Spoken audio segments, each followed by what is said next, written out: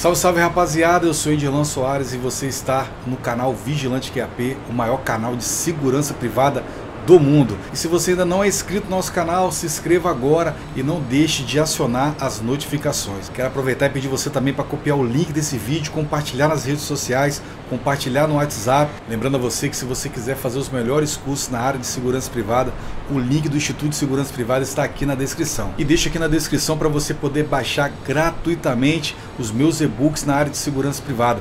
20 dicas de como ser um vigilante de sucesso e o e-book Segurança Privada Direito, com aquelas leis que todo profissional de segurança privada precisa conhecer. Então não deixe de olhar toda a descrição desse vídeo que tem muita coisa boa para você ali, beleza? Então vamos pro vídeo.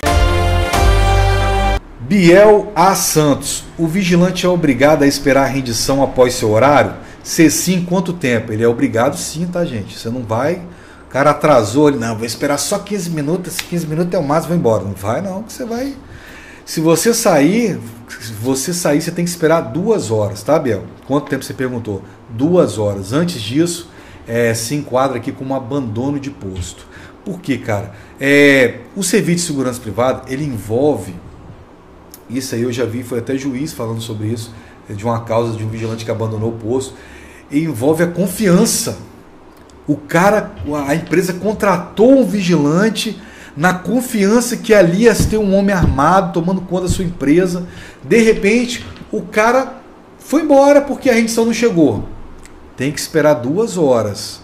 Aí vai dar tempo da empresa correr atrás, conseguir uma rendição. Se ela não conseguir uma rendição, ela manda o supervisor e ela tem duas horas para mandar essa rendição, beleza? Mas mesmo assim você vai receber só essa de duas horas ali.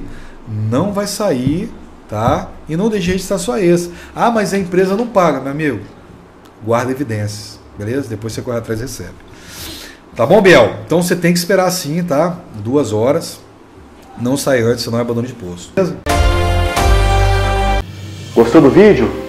Então dê um joinha, ajuda a divulgar o canal Vigilante QAP, assista todos os outros vídeos que nós temos aqui no canal e não deixe de se inscrever clicando no botão inscreva-se, ok? Fique por dentro de tudo que acontece na área da segurança privada.